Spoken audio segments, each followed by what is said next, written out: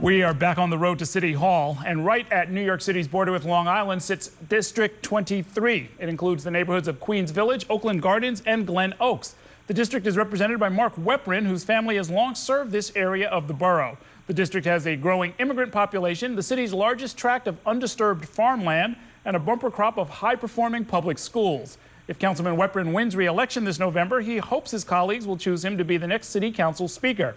We took a tour of his district, and here's what we saw. Councilman, good to hey, see you. Hey, Errol. Welcome.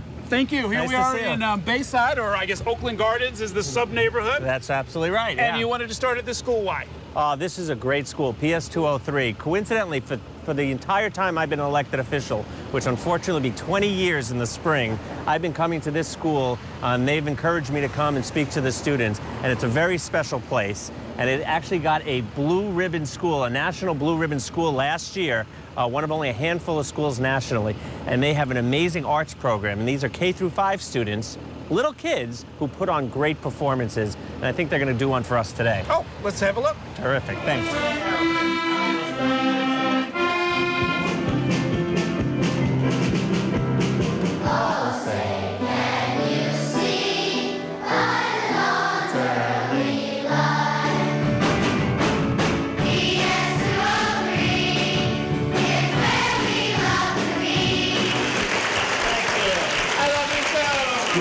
On the campus of Queensborough Community College, and this place is the Holocaust Resource Center, which began, I understand it, as part of the college and has now sort of become something separate. Yeah, this was actually an archive in the basement of a library, uh, Holocaust documents, uh, which years ago we helped get funding from the state as well as from the city in order to build this building. It's required in the curriculum of New York City uh, Bill, actually, I was a co-sponsor of that. You have to teach about the Holocaust and slavery in city schools. And this was a great vehicle for students to learn about the Holocaust. One of the most powerful instruments we have for teaching is our Holocaust survivors. These are people in their 80s and 90s who have never been trained to be teachers, but they are eloquent when they get up and they develop a relationship that changes our students from students to insurance policies. Our insurance policies are students who guarantee those stories will not be forgotten. We're here in Queens Village at a, a lovely Buddhist temple, and uh, it's connected with India Home. Tell me about that program. Well, Dr. Kalasapudi, um, who is Dr. K to us, uh, set up a program called India Home for seniors, for the, in particular the South Asian community. It was an underserved uh, community in our neighborhood, and we reached out to her about how to fund this program. Uh, the Buddhist temple here was nice enough to help house them one of the days of the week, and Dr. K does a great job of uh, providing services uh, and also social and recreational services uh, for these seniors. So much of funding was cut down for Department of Aging and uh, many other departments. Mm-hmm, mm-hmm. So this is one way of creating an innovative center where we are using the existing facilities. So this is part of your answer to um, the annual attempt to close a lot of senior centers. We've been trying to support the programs through our discretionary funding as much as possible. How long have you been coming to I'm India here Home? since 2008. Okay. It's like oh, five years now. Okay, and what's your favorite part of uh, participating? We enjoyed the yoga. That's good, you know, for uh, like senior, even mm-hmm. for the young people also. Mm-hmm. Good for health.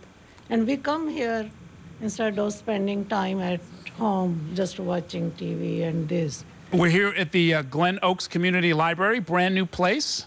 Beautiful. Hugely expensive, I must say. $17 million. I can see where it all went. It looks like top-notch materials, computers everywhere I'm looking. I have to give credit to my predecessor for most of the lion's share of that money, along with Mayor Bloomberg. Uh, over the years, we uh, came in late to this process, but we were thrilled to be here as, as we open this year. Your predecessor. My predecessor. Councilman Weprin. Right, who I occasionally have Thanksgiving with. What gets the most use here? I've noticed that a lot of the libraries have sort of a theme or a, a sort of a populace that they're really sure. aiming at. This is a busy library. It's twice as big as the old library, and it's currently circling like crazy, as we say. So it's circling at uh, the sixth busiest uh, in the system right now, which is quite a quite a leap from where it was. So people are circling really meaning it. circulation. Circulating yes. books, yes. Okay. So sort of library lingo. So the skylight here is what?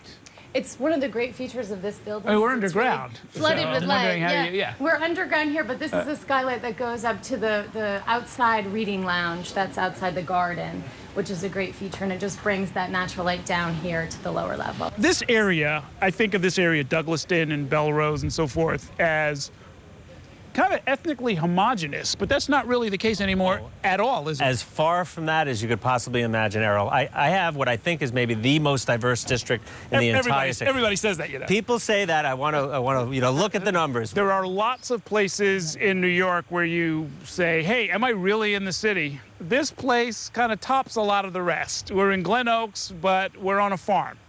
Correct. Pretty amazing. And it's been here for how long?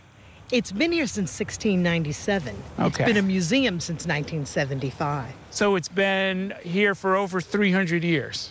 And it's been a farm uh, all that time. It has. It's the longest continuously farmed vegetable farm in New York State. I used to tell that to my colleagues in Albany who are from Madison County and, and Oswego County upstate. They didn't believe me that I had the Those, longest. those newcomers upstate who just it. got into the said- farming business. Yeah. Exactly, exactly. I got the oldest farm in the state, so don't tell me about farming.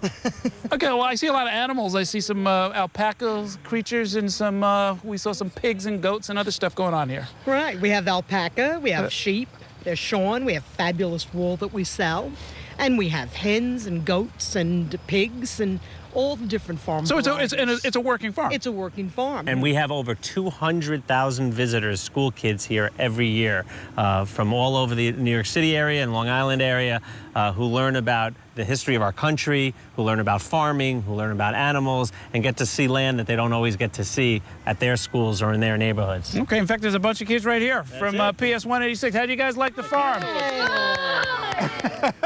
they also grow their own grapes here for wine, and they bottle it out in Mattituck. Absolutely. And so there's Queens wine coming out of your. You've got a vineyard in your district. The only wine sold in New York City where the grapes are grown in Queens. Okay, very good. And um, and it's not bad, I have to say. It is Um, quite good. You you had no primary, so um, you will have a, a general election. That's why I'm drinking wine. Uh, you'll have a general election third party candidate, but assuming you're reelected, you actually have two more terms because you're grandfathered in under the old rules. What are the priorities for the district going forward? Obviously, one of the things we have are great local public schools, uh, which, in my opinion, have suffered under the Bloomberg administration because they've put a cap on learning and an obsession about standardized tests. Big priority is public transportation to, to improve our public transportation options. It's very hard to get here. We don't have a subway, we don't have the Long Island Railroad in my district. People have to take buses, and they're not clean lines. They're not clean straight lines. Uh, we want to make sure we increase those transit options for our commuters here in uh, Queens. We want to uh, continue to make sure that co-op and condo owners, because we have so many of them, are treated fairly uh, as compared to other homeowners and uh, businesses, that they're taxed at a proper rate, and uh, to continue to keep the streets safe, to uh, continue to make this a great neighborhood to live, work, raise a family, uh, which I've done, which I was raised here, and I'm raising my family here. It's a beautiful place, not all as beautiful as this one spot, but uh, it is a great neighborhood. Okay. Thank you for uh, showing us around. I will drink to that. Cheers. Okay, good. Welcome to Queens.